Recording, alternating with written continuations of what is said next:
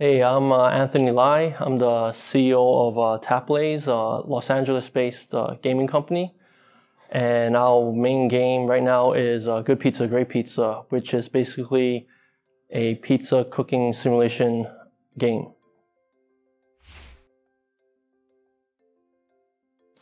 Well, when I was younger, me and my brothers were always playing Nintendo, Genesis, Super Nintendo games, and I always thought it would be so cool to like make a game, but as a kid, it seemed like almost an impossibility. But then, um, you know, 2010, 11, I saw that mobile was huge, and actually being able to distribute and publish your own games was relatively easy. All you needed was an idea and figuring out how to do the art and the programming, and then paying either Apple or Google just a you know few hundred dollars, you can become a developer.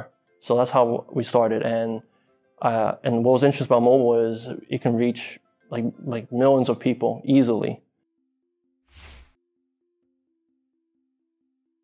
Being a small company and having no funding, we actually did everything ourselves.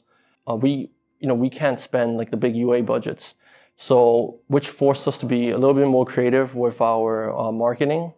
So we made Good Pizza, Great Pizza in 2014 and it didn't do that well in terms of downloads.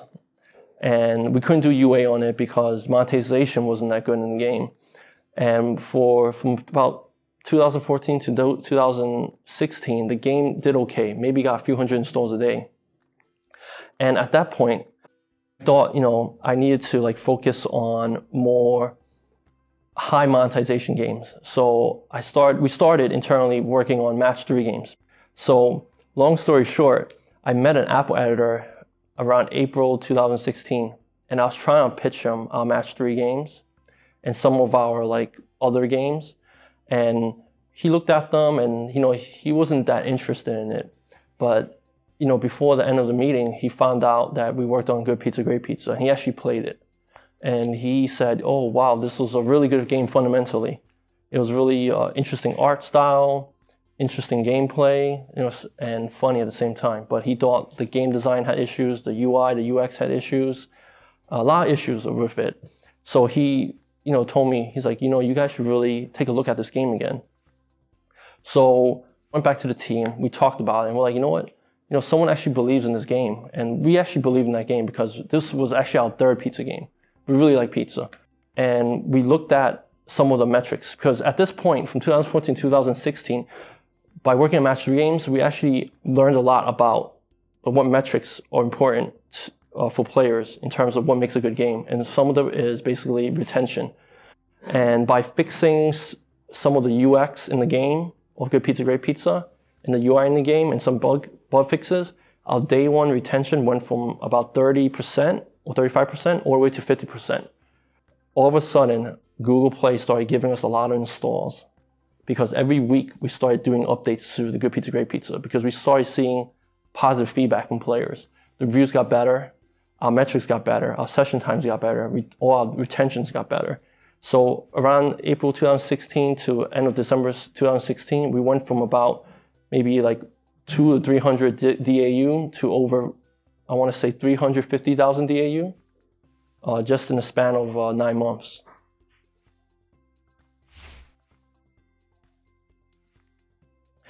So we were trying to figure out how can we increase our DAU. Like our main metric is always DAU. And one goal we had in the company last year was to hit 1 million DAU before the end of the year. And so we started thinking, how can we do this? And we noticed that a lot of uh, big YouTubers, let's play players, they only will stream or play premium games, especially PC games, Steam games. Now, Good Pizza, Great Pizza is actually a free game, right? So we took it, we had an idea, we had a hypothesis. What if we made Good Pizza, Great Pizza into a Steam premium game? As a result, we were thinking maybe a big YouTuber will actually play the game, right? And his, his or her fans who are most likely watching on a mobile phone will download our game if they saw, you know, that the game was available on mobile. So around I think April or April or May of last year, 2018, we started working on a Steam version, and which was really good because like Cocos2d-x, C++, so really easy for us to port it.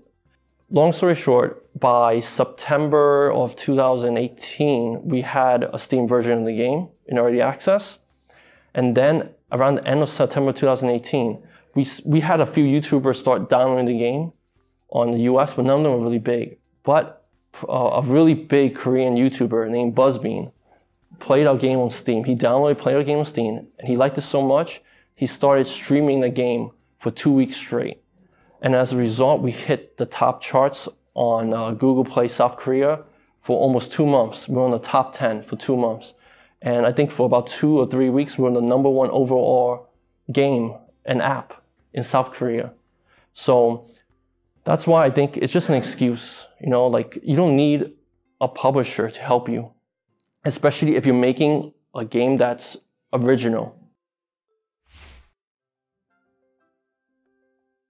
I noticed back then there weren't too many game engines, and you know there were like ones like Unity, but it was really heavy. And back in 2011, 12, 13, devices weren't that powerful. So Unity and maybe some other bigger heavy 3D game engines couldn't, you couldn't run them. And for me, my main focus, my main uh, KPI is how many players would download and play our games. So Cocos2d-x was just the perfect fit. It was C++, it was a light, lightweight engine. Yeah, that's why we picked it. Well, future of gaming, I think A is going to get like, much more bigger, right? Like now, you know, when we were kids, you know, it was mostly like younger kids or teenagers playing games, but now everyone is a gamer, basically. Everyone who has a mobile phone is playing games, even though they don't consider themselves gamers. So it opens up more categories, right? There's like hyper casual, casual, mid-core, hardcore. So as a as someone that wants to make a game, as a game developer, you have huge broad audience to reach.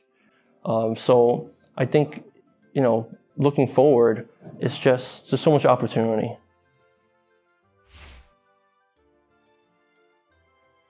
I think one thing they should really focus on is they a don't go into this industry unless unless you're passionate about it. You know, for me, we really like sharing our story because we want to inspire other developers that, you know, if we can do it, like none of us had gaming experience. Like everyone, like I, I came from engineering background. I didn't have any gaming experience. The programmers I first hired, were fresh out of college.